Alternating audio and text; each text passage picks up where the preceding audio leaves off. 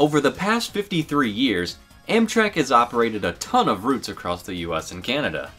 Many have been great hits with passengers, but some others, well, not so much. Today I'd like to shine a spotlight on six Amtrak trains that didn't quite catch on, but I'll be excluding ones that simply had a name change. Now I'd also like to shine a spotlight on today's sponsor, NordVPN. What's a VPN? It's a virtual private network that encrypts your connection to the internet, hides your IP address, and provides a more secure way to access public internet hotspots. Imagine you're sitting in a train station and want to connect to the public Wi-Fi. You don't know what kind of scheming little hackers are out there waiting for you to access your bank account or personal details. Or how about this? Imagine you're laying over for several hours waiting for your next train and you want to watch your favorite show or YouTube video, but it's not available in your country. With just one click or tap, you can connect to one of Nord's 6,000 plus servers in over 111 countries and be protected from hackers and access all of your favorite media on up to 10 devices at one time. Nord also helps protect against malware, malicious websites, ads, and trackers with Threat Protection Pro. You can get a discounted 2-year plan plus 4 months extra using my unique link, nordvpn.com slash amtrakguy365, or click the link in the description. NordVPN has 24-7 customer support, and it's risk-free with a 30-day money-back guarantee. We're starting off on the sunny west coast with the Spirit of California. It was an overnight train running between Los Angeles and Sacramento starting October 25, 1981.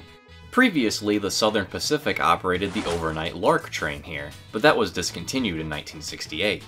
Hosting coach, cafe, and sleeping car accommodations, one daily round trip left LA in the evening and arrived in Sacramento the next morning, complementing the daytime Coast Starlight train that also operated on the line.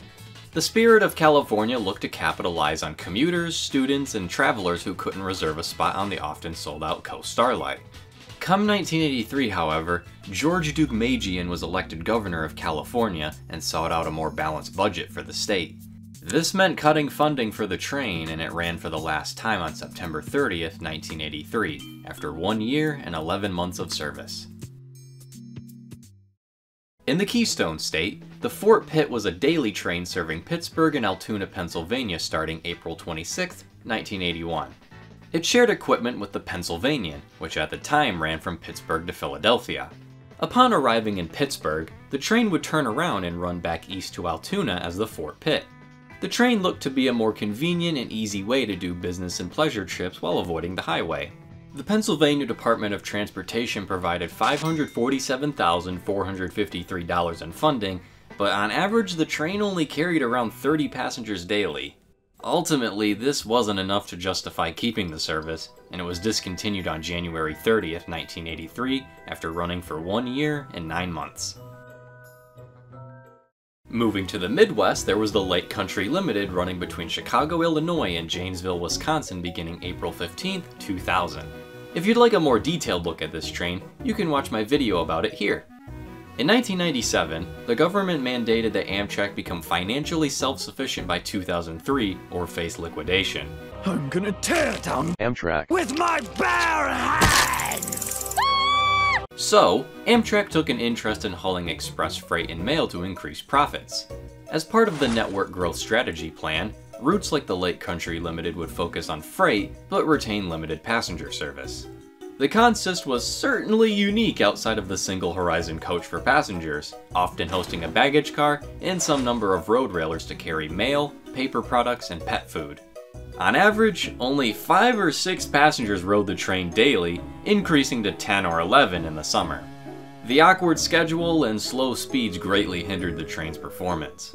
In March 2001, Amtrak gave a six month cancellation notice after a contract to haul auto parts from General Motors didn't pan out, and the planned connecting mix train, the Skyline Connection, never came to be.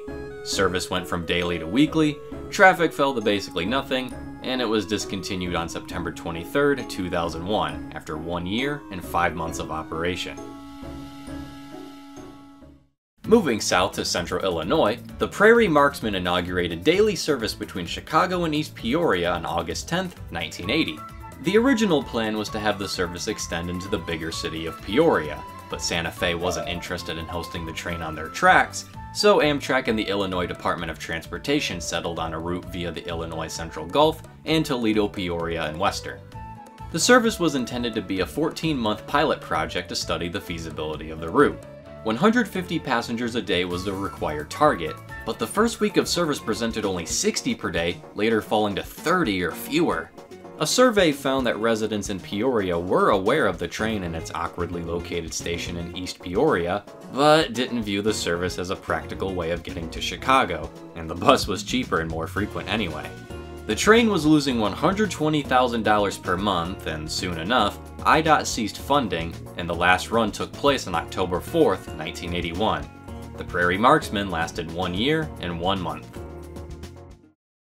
Over in Chicagoland, the campus began operating on Fridays and Sundays between Chicago and Champaign, Illinois on November 14, 1971. This train is so obscure and early in Amtrak's history, I'm not even sure if there's pictures of it out there, at least not that I could find. Maybe this one, I'm not sure if it's the campus though. One source says it operated with Illinois Central diesels and five coaches, including a coach bar lounge pulled from the IC and Norfolk and Western rosters. The train's primary job was serving students at the University of Illinois in Urbana-Champaign. It was a very lucrative business, so much so that during the Illinois Central days, they'd often have to add extra coaches. The Chicago to Champaign corridor was supplemented by the daily Shawnee and Panama Limited trains, with the Illini running on Fridays.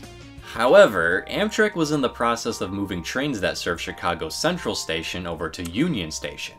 Moving the campus and Illini there would add an extra 35 to 40 minutes to the schedule, something Amtrak deemed impractical and would discourage ridership. So, the Illini and campus made their final runs on March 2nd and 5th, 1972 respectively, with the campus being the last train to serve Central Station. The train lasted a fleeting 3 months and 20 days, on a brighter note, the Illini would be revived as a daily train in 1973 along the same route as the campus, and today it still runs as part of the Illinois services, now extended to Carbondale. If you're in the mood for a party, the Las Vegas Limited would have been for you. Service on Fridays and Sundays between Los Angeles, California and Las Vegas, Nevada began May 21, 1976. It followed in the footsteps of Southern Pacific's Reno Fun Train and a handful of Vegas-bound excursions offered by Amtrak throughout the 60s and 70s. These trains hosted quite the lively atmosphere, with live entertainment, fine dining and alcohol, dancing in retrofitted baggage cars, and themed parties, all while traveling through the picturesque landscape of the Sierra Nevada mountains.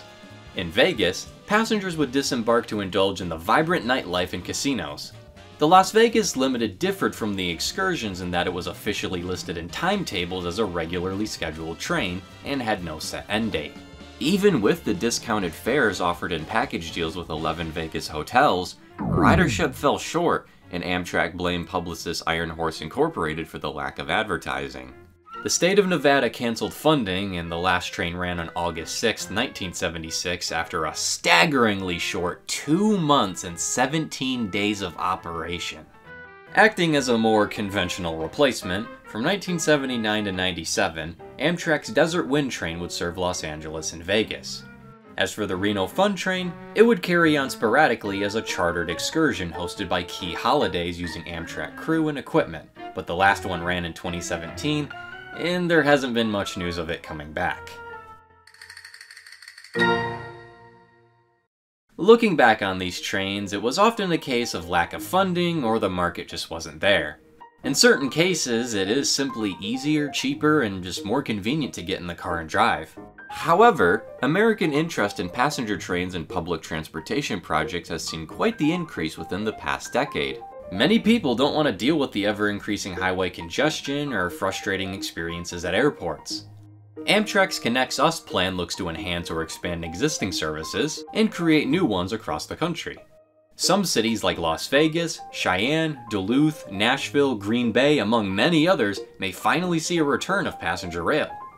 We can only hope that people will consider riding the rails and that Amtrak continues to receive the funding it needs to establish new services and buy new equipment yeah, I wrote this before the rather unfortunate election results came in. Anyway, if the Borealis' ridership is anything to go off of, the people want more trains.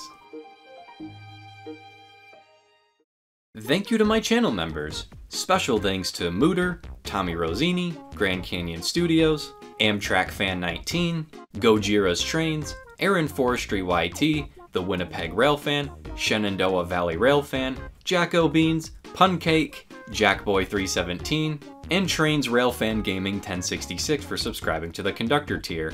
Seriously, I really genuinely do appreciate your extra support. It really does mean a lot.